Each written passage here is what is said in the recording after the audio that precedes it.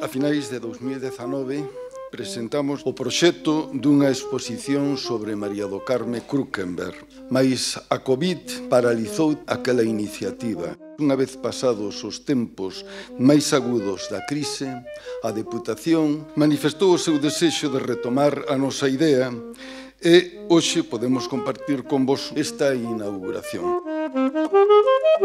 O obxectivo desta exposición non é outro máis que ser un novo reencontro con Carme Krukenberg, dunha autora que é fundamental hoxe e sin a cal non podemos entender a literatura galega da segunda metade do século XX, unha muller, insisto, vocacional, unha escritora vocacional que puxo por diante sempre a liberdade na súa vida e na súa obra.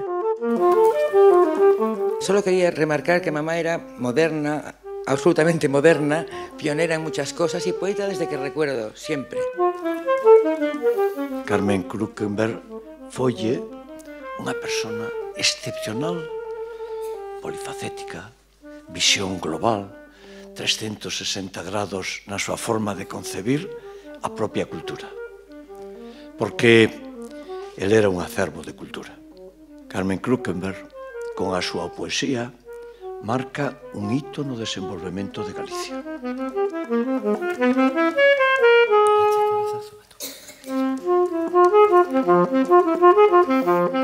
María do Carmen Krukenberg era a voz dunha muller poderosa, moi adiantada ao seu tempo, como tantas outras mulleres que non permitiron que sociedades machistas que consideran que non temos espacio pois logren que eso se xa realidade ela e, polo tanto, unha referente para tantas de nós.